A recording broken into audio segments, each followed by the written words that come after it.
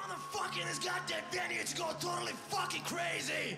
I want to see that real mosh pit right there, dude. Because the next song's gonna be called Needled 24 7.